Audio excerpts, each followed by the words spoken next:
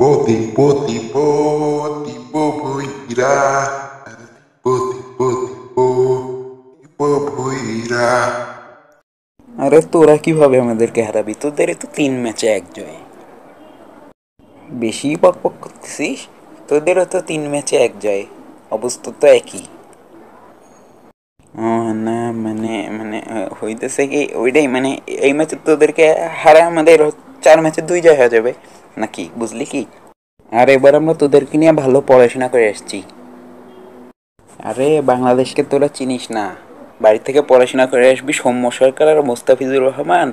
আর দেখবি পরীক্ষার হলে আসছে রুবেল হোসেন আর লিটন দাস।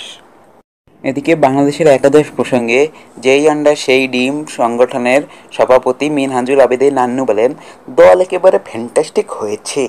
এই দল নিয়ে একটি কেন? তিন তিনটি বিশ্বকাপ জেতা সম্ভব। এ নিয়ে ক্যারাম বোর্ড বিশ্বকাপ সতেরোশো সাতাত্তরের চ্যাম্পিয়ন সাফা কবির মন্তব্য করেছেন, আমি বিশ্বাস করি না বাংলাদেশের দল ফ্যান্টাস্টিক হয়েছে, কারণ আমি যা দেখি না তা বিশ্বাস করি না। ভাই, আজকে সাবস্ক্রাইবের কথা বলবেন না? না, ভিডিওটা ভালো লাগলে নিজেই করবে। ঠিক আছে, তাহলে ভিডিওটা এখানে